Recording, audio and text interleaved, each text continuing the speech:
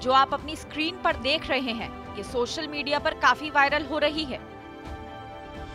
रसीद में देखा जा सकता है नेताजी मुलायम सिंह यादव की तेरहवीं के नाम पर चंदा वसूला जा रहा है।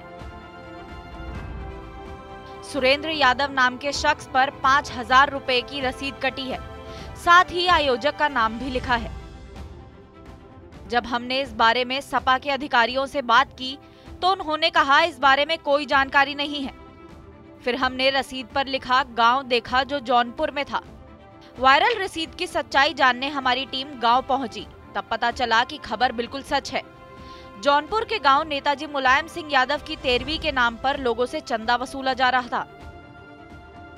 इस मामले में ज़्यादा हैरान करने वाली बात यह है कि नेताजी मुलायम सिंह यादव की तेरहवीं का आयोजन तो वैसे भी नहीं होने वाला था। इसकी जगह सिर्फ़ शांति पाठ व हवन पूजा का कार्यक्रम किया जाएगा।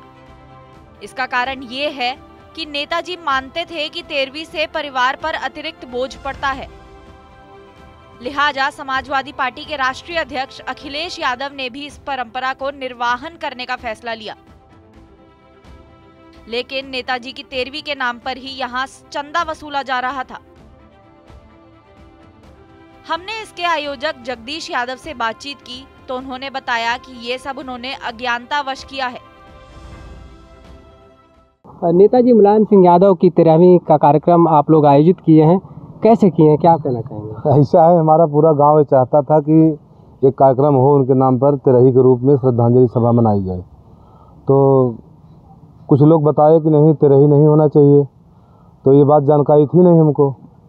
तो जब जानकारी मिली तो उसको थोड़ा सा परिवर्तित किया गया कि श्रद्धांजलि सभा और भंडारा के रूप में किया जाए। क्योंकि ये डी बाबा का मंदिर है, यहाँ हर साल भंडारा होता है। तो हम लोग कार्यक्रम भी करवाते हैं तो कुछ लोगों का जिससे नेता लोग बोले कि नेताजी तेरही का विरोध करते थे, आप लोग गलत कर रहे हो और चंदा वसूल रहे हो। चंदा जबकि वो मेरे रिश्तेदार हैं, साथी, चंदा वैसे किसी कोई थोड़ी देता है, जहाँ पहचान रहता है उसका, वही देता है। और गाँव के लोगों का सहयोग था, सब समर्थन कर रहे थे कि नहीं, होना चाहिए। और आयोजक में भी जो नाम लिखा गया है, आयोजक मैं नहीं हूँ, उसमें नाम दिया ही नहीं गया, पूरा क्षेत्रवासी है, पूरा क्षेत्र मेरा चाहता था कि नेताजी के नाम पे कार्यक्रम हो। तो यही हम लोग की विचार थी और व्यवस्था भी हम लोग किए थे, लेकिन कल से बहुत दबाव पड़ने लगा कि नहीं नहीं होना चाहिए और ये सब किसी से लेन देन करके ये सब काम गंदी बात है। बोले, भाई ठीक है, नहीं होगा। तो हम लोग कार्यक्रम को स्थगित कर दिए हैं। फ़िलहाल अब कार्यक्रम नहीं होगा, लेकिन आपको बता दें कि नेताजी के समाज सुधारकों के साथ इस परंपरा को बहुत ही सोच समझकर खत्म किया था। तेरहवे दिन भोज का कार्यक्रम रखा जाता था। इस वजह से गरीब वर्ग के लोगों पर आर्थिक बोझ पड़ता था।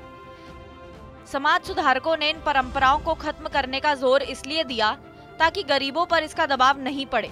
सैफई समेत आसपास के इलाकों में तेरहवीं की परंपरा तो खत्म हो जाने के बाद से मध्य वर्ग गरीब वर्ग समेत उच्च तबके लोगों के लिए एक ही परंपरा शुरू हो गई। उसके बाद से ही हर वर्ग के लोग इस परंपरा को मानते चले जा रहे हैं।